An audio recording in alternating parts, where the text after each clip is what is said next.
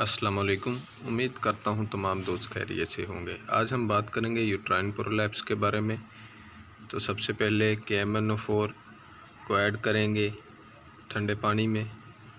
और इसके साथ दो एम एल जनरल एनस्थीजिया, यानी जाइलोकेन, वो एपिड्यूरल भी दिया जाता है। लेकिन जब जर्नल इंजेक्ट कर रहे हैं तो कहीं भी करें तो उसने सारे जिसम पर ही असरानंदाज होना है।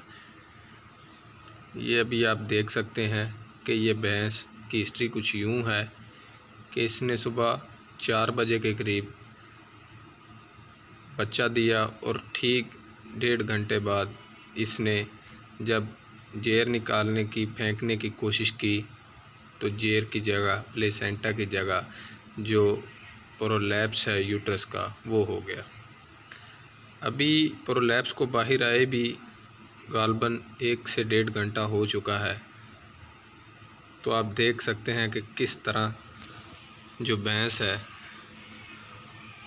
वो ज़ोर लगा रही है और तकलीफ़ के साथ नडाल पड़ी हुई है। तो सबसे पहले जो प्लेसेंटा है, जेर है, उसे हम कोटिलेडन, ये जो प्रोलैप्स पीछे के ऊपर छोटे छोटे से बटन नज़र आ रहे हैं इससे अलग करेंगे ताकि जो प्रोलैप्स है वो क्लियर हो जाए और फिर उसे अगला प्रोसीजर उसके साथ किया जाए, यानी अच्छी तरह धो के उसे दोबारा अंदर भेज दिया जाए।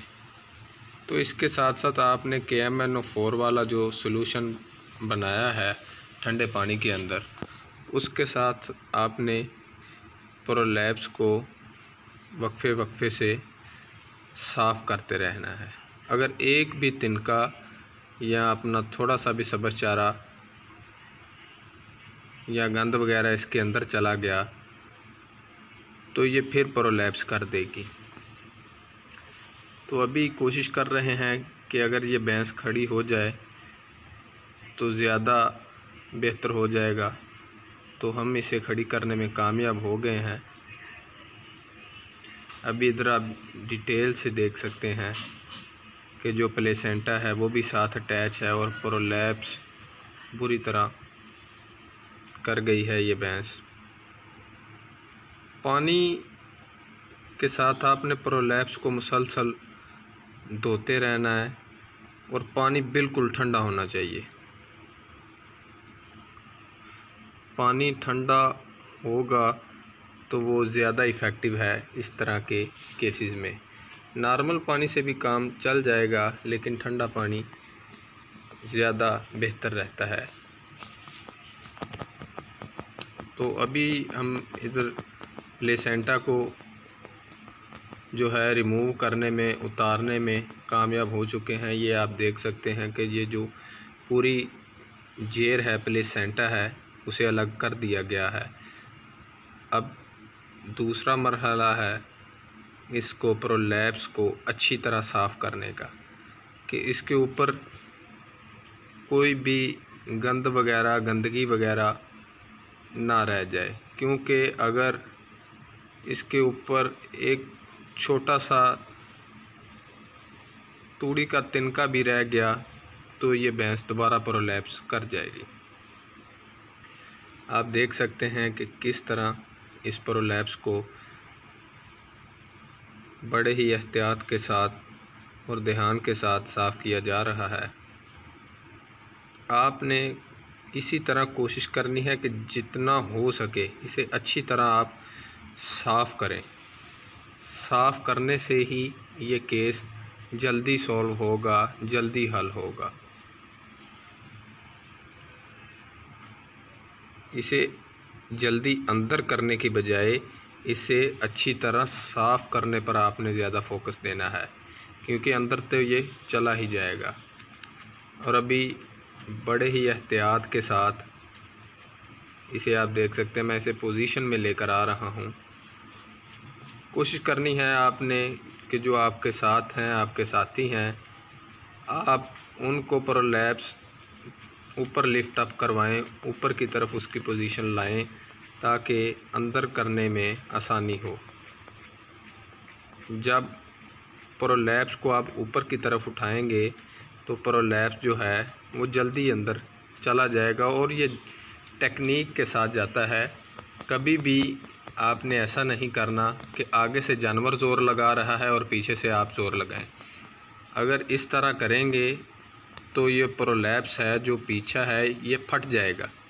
और जानवर की ब्लीडिंग की वजह से जानवर शौक में जा सकता है। बिल्कुल भी ऐसा नहीं करना, बिल्कुल इत्मीनान के साथ और आराम के साथ, जैसा कि आप देख रहे हैं, धक्का इसके साथ बिल्कुल भी नहीं करना।